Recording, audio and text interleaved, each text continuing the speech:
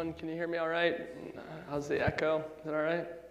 Okay, cool. Um, yeah, so thank you, DevOps Days, for welcoming me. I'm actually an iOS developer. Uh, it's been very interesting to hear some of the talks earlier. Um, and so this talk's going to be a little bit different, but I'm interested to hear your thoughts afterwards and so on. You can find me at uh, one of the open spaces after this. I believe they're after lunch. I'd love to hear your feedback and what you guys think about what we talk about today. So before I begin, I want you guys all to think about the number of times and for how long total you've looked at your phone, your iPad, and your computer today. And what about in the time since the last talk? Or what about the amount of time that you did during the last talk? Now, I challenge you all to turn off your devices. I mean, actually off. Not silent, not airplane mode, shut down. I don't expect many of you to actually do this. We make excuses. Oh, I need to take notes on my iPad. I need to keep up with a Slack channel. What if my family needs me? To all those things, I say 20 years ago, cell phones were a rare sight. People managed just fine. So take up my challenge, turn off your phone and computer, and see how long you can keep it off. Also, as a pointer, your faces glow when I use these things, so it makes it pretty easy to tell uh, if you lose faith in a few minutes. Okay, take a rat, put it in a box with a button. Wire the button to a food dispenser that can drop a pellet of yummy rat food into the box. You get to design the logic between the button and the food dispenser and let the rat use it. After 10 minutes of using it, we'll disable the food dispenser, and over the next 10 minutes, I'll give you a dollar for every time the rat presses the button. How would you like to program the button and the food dispenser? A man by the name of B.F. Skinner tried this back in the 60s, and the results of his study are changing the course of history to this day. Skinner defined five standard ways you can go about reinforcing your rat in this scenario. The first is continuous. This means that for every button press, you give the rat a pellet of food. It's a one for one relationship, instant reinforcement. Continuous reinforcement is the worst of his methods. Once you decouple the button and the food, the rat will press the button a few more times, but quickly the button pressing behavior will extinguish. I won't go into detail about a few of the middle ones, but they could be things like giving the rat food every 30 seconds, regardless of button, pre button presses, or giving the rat food every fifth button press. But the best way to get the rat to press the button and continue pressing it without a reward is variable reinforcement. Variable reinforcement is a schedule of reward that is random. Button presses, heat of reward are randomly chosen. This could be like giving the rat food after the seventh press, the 15th press, the 22nd press, 25th press, 42nd press, etc. This variable interval reinforcement is the most effective form of reinforcement. But the variable interval strategy exists outside of the rat box. When you call your dog's name, Sparky, come here. Sparky comes to you. You don't always reward Sparky. Food is only sometimes a reward. Other reasons you might call Sparky over because you dropped a piece of food on the floor or because you just want his attention. And sometimes you're taking him to get a bath. The lack of a pattern or the variability is what keeps Sparky coming back. Skinner's discovery isn't limited to animals. The slot machine is the quintessential human Skinner box. Just swap out the rat food with money. Slot machines are designed to randomly give out small rewards on a variable interval schedule to make the user keep pulling that lever. The effectiveness of the human Skinner box is why Las Vegas exists today, and maybe the Hoover Dam. The behavioral description of habit formation and reinforcement was discovered in the 1960s and quickly became the gold standard for understanding human habit behavior. In the time since Skinner's discovery, countless new fields have sprouted up, each with their own sections of behavioral studies. One significant field, for example, is the field of behavioral economics. Behavioral economics will explain why movie theaters sell popcorn, a small popcorn for $4, a medium popcorn for $6.50, and a large for $7. But I'm not here to talk to you guys about rats, Las Vegas, or movie theater popcorn. I'm here to talk to you guys about smartphones. I'm an iOS developer by trade, so I focus on smartphones. But my thoughts today extend beyond um, smartphones into a wide range of technologies. So I'm going to mention five different scenarios, and I'd like you guys to stand up if it applies to you or someone you know. This is a cue to put your laptop down if you couldn't last five minutes. So get ready to stand. So please stand if you or someone you know uses their phone while driving a car. And remain standing. Wow, this might go a lot faster than I expected. Remain standing, please. Please stand if you or someone you know uses their phone when they know it's getting late and they should probably go to sleep. Please stand if you currently have a desire to check your phone or if you checked it during this talk. Please stand if you or someone you know uses their phone while in the middle of a face to face conversation. Sometimes you can be on the receiving end of that. And please stand if you or someone you know has lost their phone and felt a strong negative response, uh, some, a stronger negative response than losing something of similar monetary value.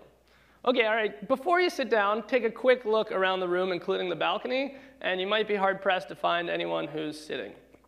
All right, sit, around, sit down, please. Thank you.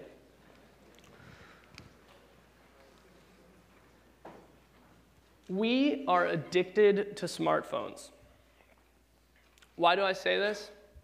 The American Society of Addiction Medicine uses five means of characterizing addiction inability to consistently abstain, impairment in behavioral control, craving, diminished recognition of significant problems with one's behaviors and interpersonal relationships, and a dysfunctional emotional response.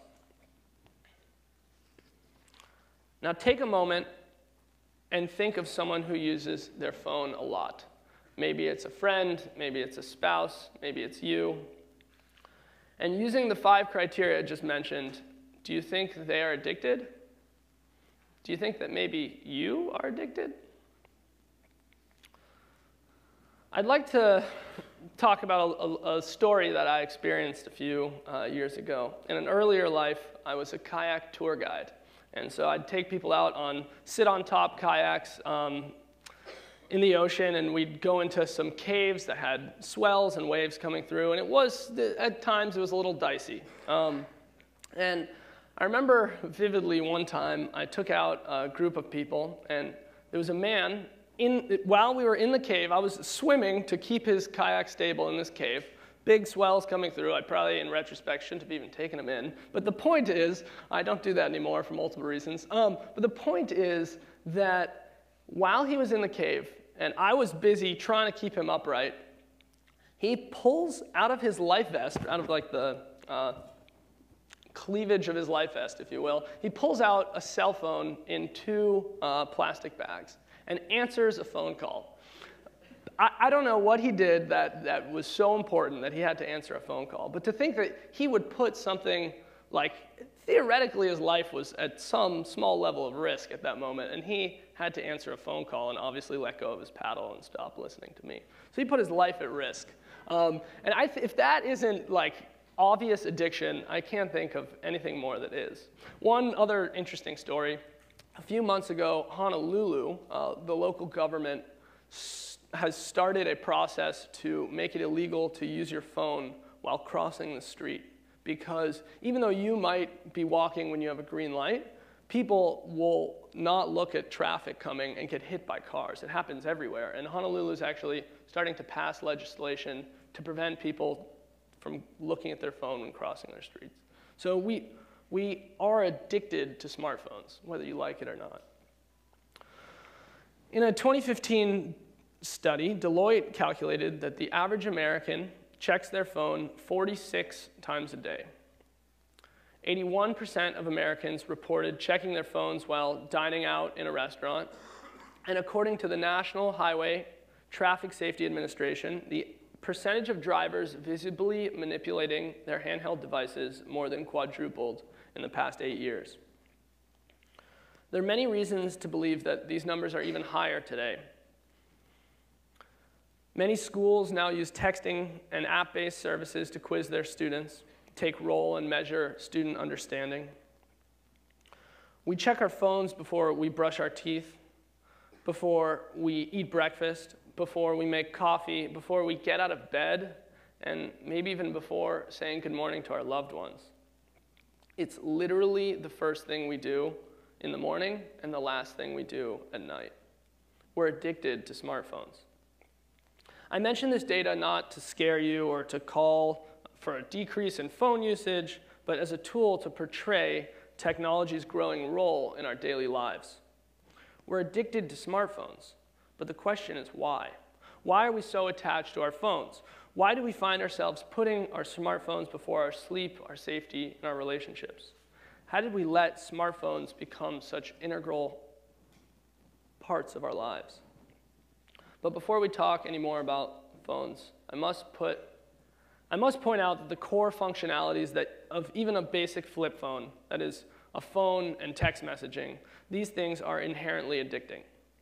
These two basic features alone account for a significant amount of the addictive behavior that smartphones elicit. They follow patterns that easily fall into Skinner's most reinforcing category. It's an important note, yet it doesn't account for all pieces of the puzzle. The technology that we all make is the driver for the majority of smartphone dependency formation.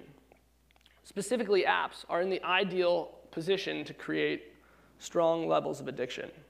Each app has the potential to become its own Skinner box, making the smartphone a collection of Skinner boxes. An app like, so in other words, a smartphone isn't like, it, isn't like a smart, uh, a slot machine in your pocket. It's like all of Las Vegas in your pocket. Each app is its own slot machine.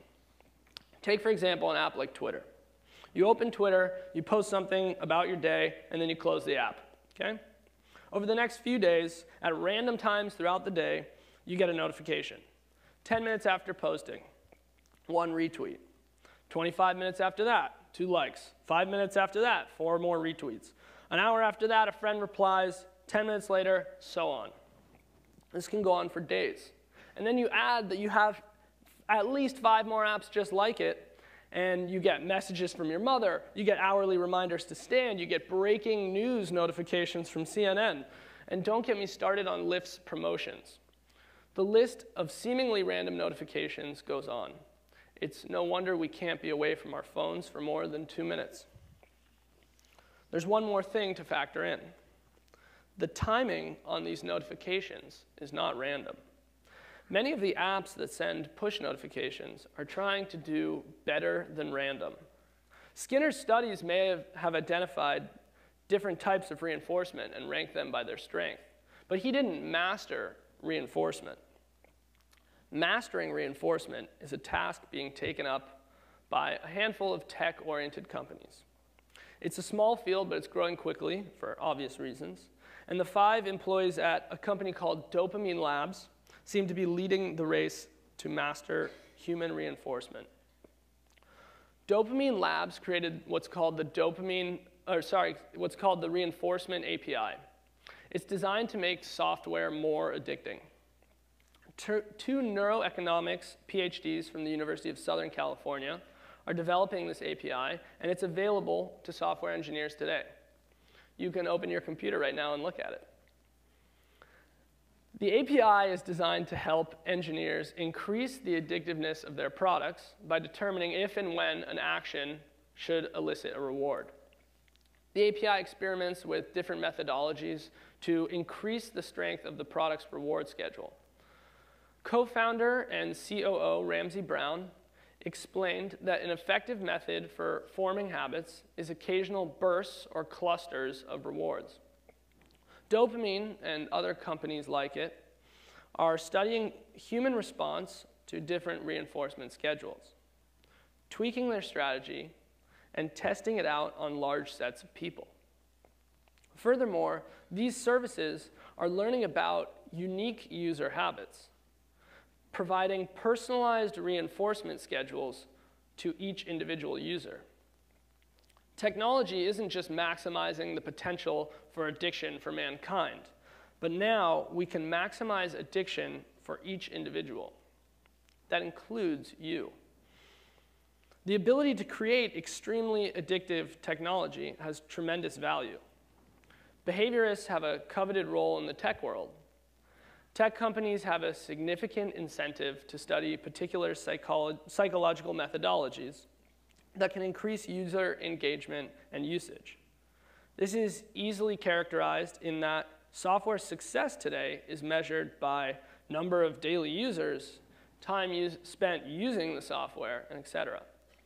Software with ad-based revenue relies on users and high usage rates in order to make money. This means that for a significant portion of the software that is being distributed, Tactics and changes that increase open rates and time in use are welcome with open arms. It's the logical step to take. It's simple economics. A great example is Snapchat. Snap Inc. is valued at over $15 billion. They have no significant revenue, and they have never been profitable. yeah, great company to invest in. In their March earnings report, after notifying shareholders of a $2.2 billion net loss in Q1, that's more than the whole value of the Domino's Pizza Corporation. Snap's report boasted an operational highlight of an increase in daily active users. Do you get this? A top 400 company on the New York Stock Exchange announces a loss of $2.2 billion, only 100 million in revenue, and then proudly announces an increase in daily users? I apologize if anyone works for Snap. If a company can be valued as highly as Snap, held up almost exclusively by usage numbers, why wouldn't companies be scrambling to increase their users, users' engagement? Well, they are, and it's working. We're at an interesting point in time. Psychology and technology have a strong incentive to be tightly coupled. Tech companies can employ the decades of psychological research that, to increase their bottom line. From increasing user engagement to increasing click through rate and sales, Technology companies have strong incentives to look to psychology for guidance and advice. While tech companies are benefiting from the field of psychology, there's little evidence of tech companies returning the favor. When I first began my studies in psychology and human behavior, I learned about how often people make irrational decisions. I learned of studies that showed how easily humans can be influenced and nudged towards certain decisions, even while feeling that they've been made free choices by themselves. This includes you guys as well. What's interesting is even if you're aware of the psychological tricks that are being done on you, it doesn't prevent the psychological tricks from working on you right then and there. It revealed the malleability of human behavior. I wrote a paper about the psychological effects of social media, specifically how scrolling through a feed affects a subject's emotional state. In my research paper, I was specifically interested in the rates of depression between Facebook users who frequently scroll through news feeds and those who don't. I found that this data did not seem to exist. More importantly, I realized the potential value for collecting such data. This is what began my initial interest in the combination of technology and psychology. Sparked by anecdotal evidence, I proposed the question Does a newsfeed feature increase the rate of depression in social media users? As an aside, I use the term newsfeed to describe a list of posts or actions by friends on social media platforms. Like any good researcher, by the end of my studies, I found myself with many more questions and no closer to an answer. I found no data on not even a correlation between news feeds and depression. No studies have looked at this correlation. Even if I had found such a correlation, it could have been explained by claiming that the use of news feeds is a coping mechanism or a symptom of the cause of depression. I soon discovered that the whole field of data was sparse at best. There was little research available in the public domain. All I could find was a whole lot of unstudied questions. I discovered that the complexity and the depth to modern software created an ecosystem with great potential for counteracting effects. Surface, surface level data fails to reveal the smaller moving parts that we have widely differing impacts. For example, social media users as a whole may show no significant difference in depression rates from their controls. But under the surface, you can break social media users into two groups. You have active users and you have passive users. You might fall into one of these categories yourself. An active user is someone who spends the majority of their time creating content. That could mean posting text and photos and frequently sending uh, direct messages to people. Passive users, on the other hand, are people who spend little or no time posting content, but instead scroll through their news feeds and their friends' photos and posts. Active users are the journalists. Passive users are the readers. Now, if you break the users into these two groups, I believe that the two groups would have significantly different rates of depression. Beyond this correlational study, users could have their experience altered to place them into two different experiment groups, one with exclusively passive features, one with exclusively active. This would be an ideal experiment to measure the effects. Unfortunately, we're not studying such detailed behavior. Just this year, one of the first experiments on Facebook usage was published by Tel Aviv University in Israel. A unique scenario allowed for, for a security company to split their employees into two groups one that used Facebook and one that was banned from using Facebook. The results revealed that those using Facebook indeed showed a decrease in happiness compared to their, those that were banned from the platform. The study has been hailed as on the frontier of this type of research, but it didn't investigate different types of usage. There's still a lot more research to be done. But in such an ever growing and changing field, this type of research is put on the back burner, arguably for good reason. The industry can change in a flash. Furthermore, this type of study is ideally conducted by the tech companies themselves, or us. It's no surprise that the companies would be hesitant to conduct this kind of research. The results could be bad. But Dalton Combs, the founder and CEO of Dopamine Labs, offered me some consolation. And now, as some tech companies begin to solidify their place in the majority of people's lives, I expect that studies like this will begin. Combs told me about his vision. He sees the future of software in a bright light. Combs and I see this addicting technology as an opportunity to provide tremendous value to users. People often look for easy ways to alter their own behavior. From snake oil to modern medicine, man has searched for ways to alter their own behavior for centuries. We look for weight loss pills, aphrodisiacs, antidepressants, stimulants, and many more tricks to improve ourselves, to get more out of our day. Many of these results can be achieved through changes to one's behaviors and actions. But making these changes is hard. We don't do them. That's why you set a weight loss goal every month. You don't, your weight's the same, but you, because all you have to do is eat less or exercise more, but we don't do it. It's hard. Many of these results can be achieved through changes to your behavior. But making it is hard. It takes significant willpower to change your habits alone. But we have just unveiled that the power technology has over man. Combs' vision is one where we can use technology to alter behavioral patterns. Users should be able to turn on the addictiveness of a product, turn it up or down, depending on their personal goals. I envision a world where technology is the solution we use to help our personal problems. It provides guidance and direction on the path to self improvement. This is already beginning to happen.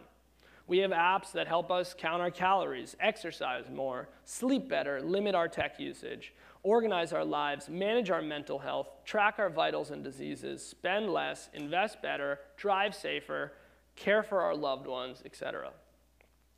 These self improvement aids manifest themselves as both standalone software and features on software that serves a variety of purposes. Providing users with the ability to tailor their experience is an imperative step in the journey to creating ethical software. We owe it to our users to put them in control of their lives. The true value and power in software is its ability to serve as a tool that improves our lives. That's how we got addicted in the first place. That's why you went and bought your smartphone, because it made your life better. People should feel better after using technology. With the increase in the strength of technology's effect on man, the importance of focusing on ethics increases in turn. It's not uncommon to have an initial aversion to this idea. It's normal to look at, to look at this as a poor financial decision or unnecessary risk. Michael, you may be asking yourself, why would I make the sacrifice for a greater good? Why should I be the one to take the risk that might not be as lucrative as sticking to our current ways? To these questions, I say look back in history. There are countless examples of companies and industries that, are averse, that were averse to such business decisions. Flexibility and the ability to pivot with the industry is what has led small, sm- small startups to beat out major companies. The focus on adding value to the lives of users trumps a focus of maximizing profits in the current quarter. In 2006, General Motors, sorry, yeah, in 2006, General Motors released a statement claiming that the electric car was far from viable as a commercial success. Tesla, a young, unheard of company at the time, was staring at a market that the big players wouldn't touch. Instead of joining the successful gas car companies, the founder of Tesla saw a product that consumers would want. Te- Tesla took the chance, made an electric car, and four years, and now the 14-year-old company is worth more than the 110-year-old General Motors. Look at Apple, one of the biggest players in tech. They have made countless decisions that initially the public rejected. Yet it's proven successful, and its users tend to like it. They take away the CD drive, and at first we complain. Eventually, most of us don't mind. They change the power cord, and at first we complain, but then eventually we don't mind, etc. You get the idea. Apple doesn't give people what they want. They make things that people didn't know they wanted. So let's make technology that helps people in ways they didn't know was possible. Henry Ford is sometimes credited with the fitting quote If I had asked people what they wanted, they would have said a faster horse. It's actually not true that he said it, but anyway. If we are the creators, we have to become, we have the power to change the future of technology, and we can define what that future becomes. Not every engineer in this room has the power to make such a change. Some of us work for companies that don't give engineers the freedom to decide on the feature set for their product. This is where another opportunity arises. We must fill the hole in the data. I believe that every product has a, a strong incentive to collect some data. I don't care if you make a Flappy Bird clone, I think there's tremendous value in collecting user analytics. At a bare minimum, you should know where your users spend the majority of their time in your product and what features they do and don't use. On top of this, I believe that the more data we collect of our users' behavior, the better we can serve our users and improve the software that we make for them. I think this aggregate user data should then be shared on the public domain. By making the usage trends available to all, you provide the opportunity for others to stand on your shoulders and potentially add significant value to the world. By simply sharing the data we collect, we have the potential to spark novel ideas and innovations that are, in, that are unimaginable today.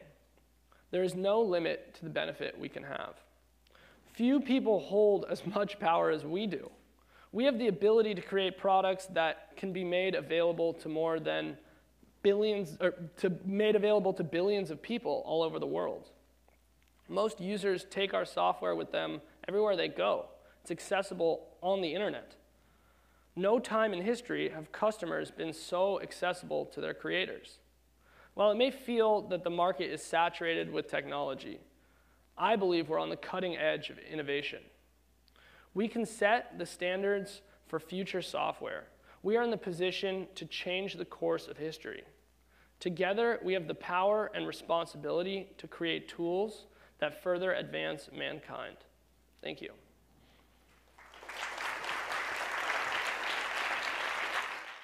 You